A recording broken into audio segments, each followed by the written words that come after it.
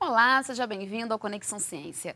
Hoje eu converso com um pesquisador e chefe de pesquisa e desenvolvimento da Embrapa Instrumentação, José Manuel Marconcini. Obrigada pela presença, Marconcini. Eu que agradeço também, obrigado pelos todos os ouvintes e todos os telespectadores, para a gente poder falar desse tema fascinante em ciência e tecnologia. Ok. Então, hoje vamos conversar sobre nanotecnologia. Não saia daí, o Conexão Ciência já está no ar.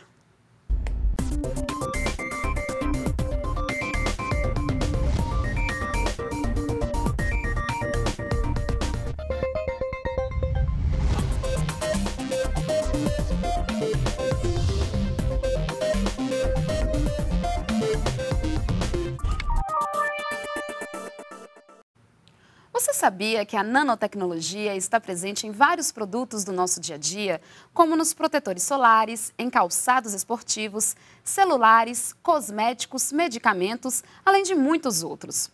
Com a possibilidade de explorar materiais em escala nanométrica, ou seja, uma escala extremamente pequena, a nanotecnologia tem sido aplicada em diversas áreas e a agricultura é uma delas. Então, Marconcini, vamos explicar qual a definição né, para a nanotecnologia. Bom, a nanotecnologia é, são todas as aplicações que a gente consegue ter a partir dos estudos que vieram da ciência na escala nanométrica. A escala nanométrica é quando eu consigo pegar alguma coisa, é, por exemplo, pego uma, alguma coisa da dimensão de um metro e divido por um bilhão de vezes. Fica muito pequeno. Para um exemplo do cotidiano, se a gente pegar um fio de cabelo e dividir por mil vezes o diâmetro do fio de cabelo, nós vamos ter da ordem de 30 a 40 nanômetros. Ou seja, nós estamos falando de alguma coisa muito pequenininho e disso tudo a gente busca novas aplicações para o cotidiano da gente. Uhum, então, por ser tão pequeno, é, dá né, para ter muita aplicação, muito estudo em cima né, dessa medida? Sim, tem várias coisas que são possíveis, uhum. aplicadas à medicina, às engenharias, a área de, de aviônica, de transportes e também na agricultura e na pecuária. Uhum. E isso que a Embrapa vem estudando e trabalhando já tem alguns anos. E qual é a melhor forma né, de entrar nesse pequeno, imenso também é, mundo da nanotecnologia? Bom, tem dois grandes jeitos da gente chegar ao tamanho nanométrico, que nós chamamos. O primeiro jeito nós chamamos de métodos de cima para baixo, top-down em inglês uhum. em que eu tenho, por exemplo, partículas que são grandes e eu posso ir moendo essas partículas para que elas vão ficando cada vez mais pequenas até chegarem no tamanho nanométrico. Sim. Exemplo, a gente pode ter uma moagem de rochas até obter uma rocha muito fininha no nível nanométrico. E também por meio de reações químicas, a gente pode separar algumas substâncias e fazendo dissoluções do que é grande até chegar no nível pequeno, que é o mundo nanométrico. Esse uhum. é o primeiro grande jeito de chegar no mundo nano. Sim. O segundo jeito é de baixo para cima. Nós partimos dos átomos e das moléculas e nós vamos construindo e manipulando as reações químicas, porque os átomos e moléculas estão num nível menor do que os nanômetros. Então, nós vamos reunindo, agrupando eles até ficarem do tamanho nanométrico. Então, esses são os dois grandes jeitos da gente chegar no nanomundo. E a ideia né, de manipular átomos e moléculas é algo recente? Não, não é algo recente. Uhum. Tanto que a, a, nanotecnologia, como um termo, ela foi cunhado já há muito tempo, Sim. nos anos 50 do século passado.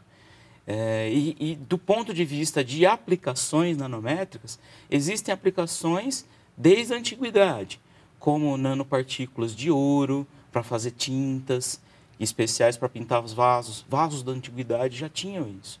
E também uma série de aplicações como nanopartículas de prata, como a prata coloidal, que é usado como antimicrobiano de longa data.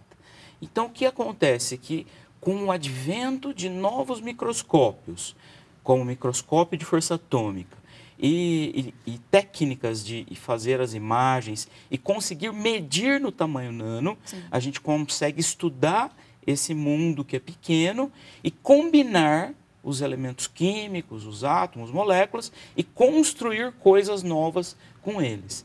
Por isso que a nanotecnologia vem crescendo de um esforço muito grande do começo dos anos 2000 para cá. Uhum. E o que é possível construir né, a partir da nanotecnologia, então?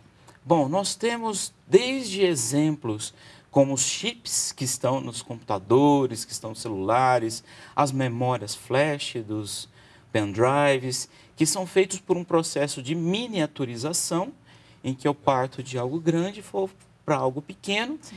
E hoje em dia nós temos trilhas dos chips que a, a largura, o diâmetro delas é da ordem de 20 nanômetros, alguns até inferiores a isso. Uhum.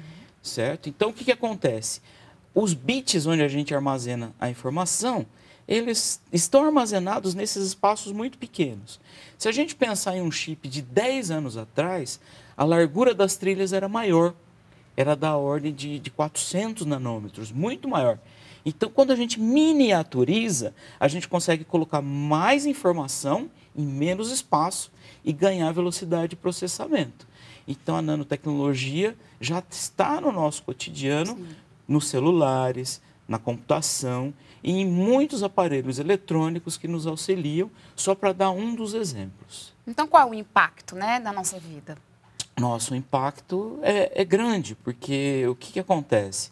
nós conseguimos fazer coisas novas com essas novas tecnologias Sim. que antigamente nós não tínhamos as mesmas velocidades. Então nós conseguimos ter hoje muita parte de conectividade por causa de toda a base de ciência e tecnologia que tem nanotecnologia. Nas áreas industriais, a gente já tem, como você citou, exemplos em filtros solares, que aumentam a proteção contra os raios solares. Sim. Nós temos materiais com desempenho maior, com maior rigidez, quando se adiciona nanopartículas neles. Nós temos também agora, pensando na agricultura, é, novas formulações que podem vir como fertilizantes, é, aditivos para alimentos com vitaminas. Uhum. É, também tem a parte de, de, de, novas substâncias extraídas da natureza, é, como nanocelulose, que podem ajudar no cotidiano nosso. Sim. Agora, especificamente na, no setor agropecuário, né? como é que a nanotecnologia tem sido aplicada? Olha, nós temos é, vários exemplos que a Embrapa vem desenvolvendo. Sim. E, então, dentro de um contexto grande de pesquisas, é, a Embrapa vem já há mais de 10 anos num grande projeto em rede, desenvolvendo tecnologias. Então, tem exemplos desde antibióticos para tratamento de mastite, que o Centro de Gado de Leite desenvolveu, uhum.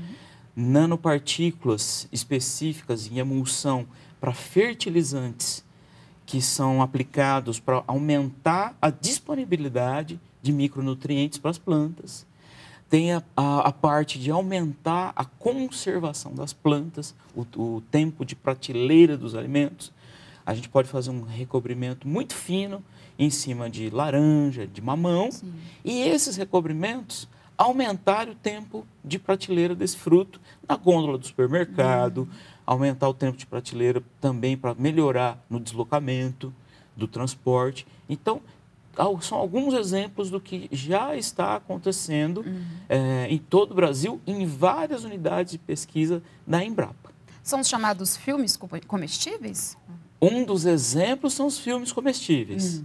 em que a gente consegue transformar é, purês de frutas e de hortaliças em um filme que é uma película flexível e que eu posso comê-la. Ali estão adicionadas é, nanopartículas comestíveis que são aprovadas para alimentação uhum. e que nós podemos tornar o material mais resistente, lembrando um aspecto de uma alga de um sushi.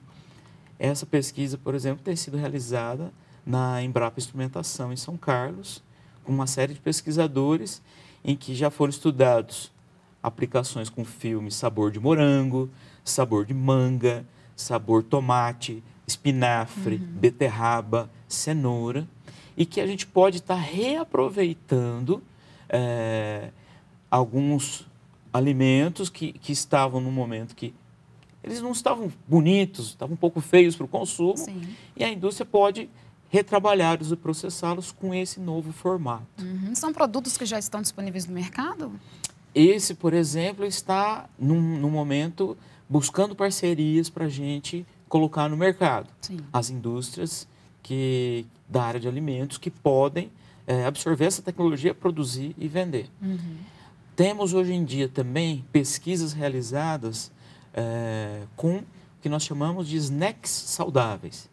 Imagina você poder se alimentar com um snack que não é gorduroso, que não é frito e que tenha fruta dentro dele ou que tenha hortaliça. Então, isso a Embrapa está desenvolvendo no momento, em parceria com indústrias, uhum. para que isso seja possível para o consumidor. Por meio da nanotecnologia. Por meio da nanotecnologia. Na prática, como é que é possível, então? No caso dos snacks? No caso dos snacks, é, a diferença que a gente tem é adicionar é, vitaminas uhum. e, e, também é, outros constituintes que, que podem auxiliar no, no, desenvolvimento humano, como ferro, por exemplo. Uhum. E, e, isso vai auxiliar na alimentação humana. Fazer um alimento reforçado com nanotecnologia, em que tem conteúdo com pureza de frutas ou que tem é, hortaliças nele. Então, é, é essa que é a, a, a, a grande diferença. Uhum. Esse é um exemplo, então, de é, como a nanotecnologia pode ser aplicada também na área da agroindústria? Sim, exatamente. Uhum. É um outro exemplo. E tem é... outros exemplos nessa área de agroindústria que a gente pode, que a Embrapa também já está trabalhando? Sim, a Embrapa tem trabalhado, por exemplo, é, lançou esse ano, num licenciamento, numa pesquisa em inovação aberta, uhum. junto com uma indústria, uma nanoemulsão de cera de carnaúba. Então, o que, que acontece? Eu posso é, recobrir laranjas, tangerinas, citros em geral, é, mamões já foram testados também. E o que, que acontece? Eu consigo aumentar o tempo de prateleira quando eu recubro com essa fina película de nanoemulsão de carnaúba, uhum. é, da ordem de 15 dias, pelo menos, o tempo de prateleira desse, desse fruto. Isso significa que o, o fruto não vai perder a umidade, ele vai manter as características de saudabilidade dele e também o, o, o produtor e o, comerci, o comerciante vão uhum. conseguir chegar com produtos mais adequados para os consumidores. Uhum. Então, esse é um, é um exemplo de projeto de pesquisa que se transformou em um produto lançado no mercado. Já está disponível? Sim, já está disponível. Uhum. Também nós temos exemplos de, de uma tecnologia chamada Microactive, em que você tem um recobrimento com micronutrientes, em que você coloca para os fertilizantes é, alguns micronutrientes que são tipo zinco, boro, e isso tudo é feito uma suspensão, uhum. que é nanométrica, e essa suspensão dos micronutrientes envolve os fertilizantes tradicionais, tipo o NPK. Então eu vou ter um fertilizante final em que eu tenho por dentro nitrogênio ou fósforo ou potássio Sim. e por fora os micronutrientes, zinco, boro, por exemplo. E com isso, o que a gente faz? Quando a gente fornece esse fertilizante para a planta, ela vai estar sendo alimentada simultaneamente com macro e com micronutrientes, Sim. e ela consegue um melhor desenvolvimento. Então, ao invés de eu, de eu fornecer isso na agricultura separado, o macro e o micro, uhum. a gente consegue fornecer junto é, de modo mais efetivo. Tá certo, Marconcini. Então, nós vamos fazer um, um breve intervalo e voltamos já, tá? Não saia daí.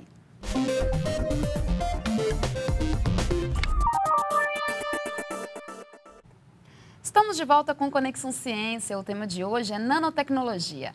Aqui no estúdio, o pesquisador da Embrapa, José Manuel Marconcini. Marconcini, então, ainda em relação ao fertilizante, né, com nanotecnologia, que benefícios que ele pode gerar para o, o agricultor? O agricultor vai perceber que quando ele aplica o macronutriente com o micronutriente junto, ele vai ter uma efetividade maior de produção. Os testes de campo realizados com esse novo tipo de, de fertilizante com nanotecnologia uhum. pode aumentar em até 9% a produtividade em milho, soja e feijão. Então, isso se a gente for ver, traduz-se em resultado para o agricultor. Sim, em termos de custo, é, é também é um, seria um produto mais barato? Ele é um produto que é, é assim, é equivalente aos, ao, que, ao que há no mercado. Né? Uhum. Então, ele não, não vai estar tá encarecendo a, a, produção. No que diz respeito à segurança, né, para o consumidor, é, todos esses produtos, em termos de filme, filmes comestíveis, né, é, traz segurança para o consumidor né, que vai adquirir esse tipo de produto? Sim. As pesquisas em que a gente tem realizado envolvem aspectos de, de segurança Sim. e também nós sempre partimos de, de matérias-primas que são aprovadas para grau alimento, quando envolve alimento, uhum. e que são aprovadas para uso na alimentação. Então, isso é muito importante estar salientando porque tem toda uma cadeia de, de produção que, uhum. que, que, é importante que isso seja sempre garantida a segurança dos alimentos. Quais são as linhas de pesquisa, então, que a Embrapa trabalha no que diz respeito à nanotecnologia? A Embrapa tem trabalhado com várias linhas de pesquisa em nanotecnologia e vou citar algumas delas, né? E, assim, as principais, a gente tem a parte de sensores e nanosensores aplicados à agricultura.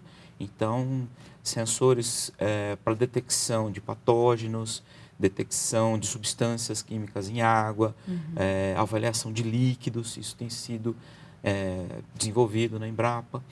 Bom, a parte de, de fertilizantes, recobrimentos nanométricos, novos pesticidas também envolvendo nanotecnologia alimentos e novos alimentos, incluindo nanotecnologia, uhum. pigmentos nanométricos, é, a parte de que a gente fala de, de nanomagnetismo, além disso, escalonamento industrial que a gente tem, tem feito, né, de modo geral, uhum. é, fármacos veterinários com nanotecnologia, Sim. Novos materiais para implantes, é, nanopartículas extraídas da natureza, aspectos de segurança e de toxicologia envolvendo nanomateriais. Uhum. Então, isso tudo para a gente ter uma, uma visão geral que a gente pesquisa na rede Agronano, que envolve mais de 150 pesquisadores e mais de 50 instituições em todo o Brasil, com 23 parceiros internacionais.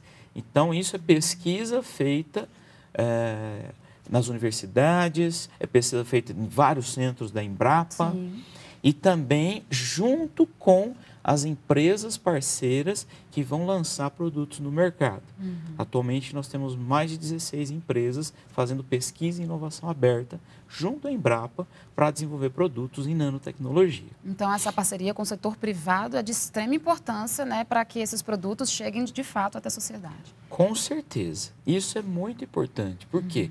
quando você pega a, cadeia de, de produção, no que nós chamamos o funil da inovação, nós temos a pesquisa básica, em onde a gente entende os princípios básicos da nanotecnologia e a gente vai traduzindo isso em como aplicar na agricultura e pecuária. Sim. Então, avançando nesse momento, o que, que acontece? A gente tem o conhecimento de fazer uma série de coisas. Uhum. E é aí que chegam as indústrias e os agricultores, os pecuaristas, para nós formatarmos um produto novo para o mercado. Aí começa-se normalmente uma etapa de pesquisa, desenvolvimento e inovação, que pode variar de dois até cinco anos junto com a indústria, uhum. até traduzir aquilo que está na bancada do laboratório numa escala industrial de produção e chegar na mesa do, do consumidor. Então, é todo um esforço que a Embrapa faz sua parte, mas também as empresas privadas estão juntas. Uhum. Eu acho que isso é, é fundamental para que a gente avance na agricultura e na pecuária do Brasil. Agora a Embrapa também conta com um laboratório específico, né, é para desenvolver esses tipos, né, esse tipo de pesquisa. É... Qual é o objetivo? É um, um laboratório multiusuário, né? O que, que significa isso? Isso. A Embrapa tem vários laboratórios multiusuários e em São Carlos fica o Laboratório Nacional de Nanotecnologia para o Agronegócio. E o apelido dele é LNNA, é a sigla carinhosa dele. Uhum. E, e, esse laboratório também faz parte do Sistema Nacional de Nanotecnologia. Uhum. É um dos oito laboratórios estratégicos junto ao Ministério de Ciência e Tecnologia, e é o único grande laboratório do Brasil focado e dedicado somente à agricultura e pecuária. Então, nesse local lá em São Carlos, nós temos um conjunto de laboratórios, nós temos um conjunto de, de pelo menos uns sete laboratórios dedicados à nanotecnologia, em que cada um deles tem uma especificidade. Os pesquisadores vêm do Brasil e fazem pesquisa lá, Sim. atende pesquisas em parceria com universidades e com empresas. Esse, esse é o espírito de ser multiusuário. Uhum. E pelo menos 50% do tempo dele é compartilhado com universidades e empresas. Agora, Marco Muncini, vai ser também, é, a Embrapa está promovendo né, um evento que vai ser realizado no próximo mês, em que a nanotecnologia é um dos temas. Né? Fala um pouquinho desse evento. Exato. Nós estamos realizando em São Carlos, na Embrapa Instrumentação, de 3 a 5 de dezembro, o Simpósio de Instrumentação Agropecuária Sim. 2019. E, em que vão ser quatro grandes temas envolvidos, em que são agricultura de precisão, agricultura digital, bioeconomia e nanotecnologia. Tudo isso que são tecnologias tendência e portadoras de futuro Sim. e que a Embrapa está congregando todo esse conjunto de informações. E nos três dias terão um dia de evento científico, um dia que será um business day, junto com as empresas e indústrias, e no terceiro dia vai ser um dia das startups, é o AgTech Day. Então, várias startups vão estar concorrendo a, a, a prêmios, vão fazer um pitch e vai ter uma banca de investidores que vai interrogá-las, assistir o pitch Sim. e classificá-las se, se podem ir para é, receber algum investimento. E é, tem esse... algum site que a pessoa pode é, acessar para saber mais informações sobre o evento? Sim, nós convidamos a todos que quiserem participar a acessar o site www.cnpedia.embrapa.br barra Ciagro. Agora, Marconsini, falando em futuro, né? Você comentou agora sobre o futuro. É possível afirmar né, que nós já estamos vivendo esse futuro? A, nanotecnologia já faz parte da nossa vida? Sim, já faz parte da nossa vida. Se nós pegamos vários produtos que a gente tem no mercado, como antimicrobianos, a base de nanopartículas de prata, é, nós temos isso em desodorantes, nós temos isso em embalagens de leite, é, nós temos também é, na parte de shampoo, de cosmética e na agricultura cada vez mais. Além dos exemplos da informática e que a gente tem no cotidiano dos eletrônicos, isso vai ampliar. A Embrapa tem pesquisa com empresas que no futuro é para lançar hidrogéis que são é, fertilizantes e com liberação controlada de água e nutrientes, uhum. para ajudar no combate à seca e auxiliar os produtores. Além disso, tem nanocristais de celulose, também em parceria com a indústria, em que você pode aumentar a resistência mecânica de tintas, de revestimentos. Então, são coisas que vêm da natureza, que a Embrapa está pesquisando, e isso pode é, fornecer novos produtos. Uhum. Também está pesquisando métodos de encapsulamento, usando nanotecnologia, de, de bactérias, de organismos. E, então, a gente está convergindo no que nós chamamos de é, a fusão de áreas, né, tecnologias convergentes, Sim. de nanobiotecnologia. Em que, por exemplo, a gente pode ter um, uma bactéria ou um fungo recoberto com um revestimento nanométrico que vai ser utilizado para é, liberar o fosfato de rocha. Então, isso já tem pesquisas na Embrapa mostrando nesse sentido uhum. e pode ser um futuro até para a gente ajudar ainda mais a parte de adubação.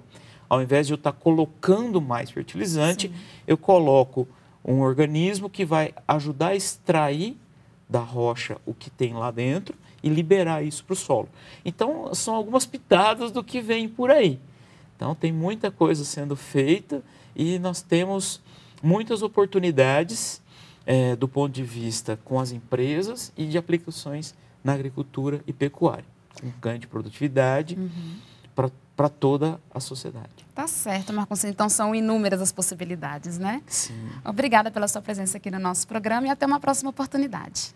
Eu que agradeço um grande abraço.